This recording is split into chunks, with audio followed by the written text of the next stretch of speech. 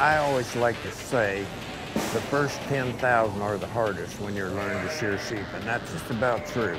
You know, after 10,000, then you can kind of qualify yourself as a shearer.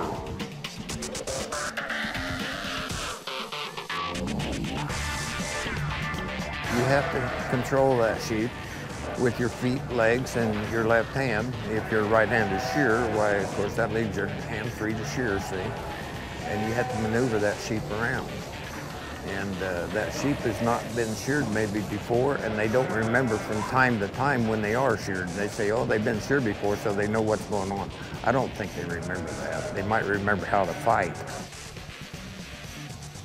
We start uh, with our junior division, which is our younger shearers, and some of them may have a year or half a year of training, and they need to be proficient enough to where they're not cutting the sheep and they can handle the sheep before they come here to start in the shearing contest.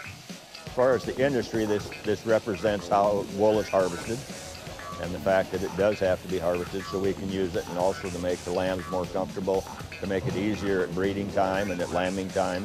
But on top of that, it's also a show. It's here to, to be a spectacle for people to see sheep sheared because it's something they normally don't get to see. Our second division is our amateurs. Some of them have been shearing for a number of years, but they don't shear a large number every year.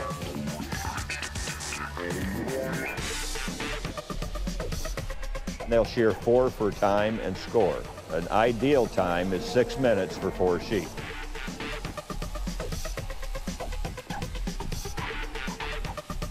They're scored on the way they handle the sheep, whether or not it gets away, how they hold it, if they can keep it in control.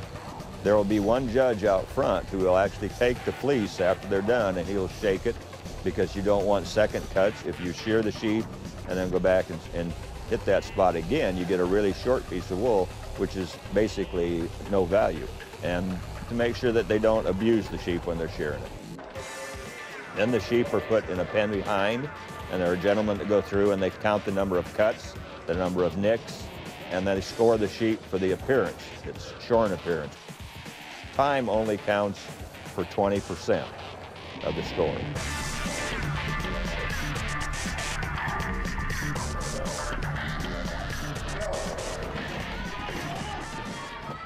We've got competitors here that have been national champions, they've been world champions. We have competitors here that have sheared in New Zealand and Australia in contests. Uh, so Iowa really has a good set of, of shearers. I used to come here with my grandfather when I was a toddler and watch him shear in this competition and that got me interested in shearing sheep. In our family there's been three generations to me, and then my son started. He's the fourth generation. I think it's a dying, dying thing. There's not that much interest anymore from the young kids, and it's good to keep these contests going to spark interest. This has always been one of the best contests in the United States and probably one of the best in the world.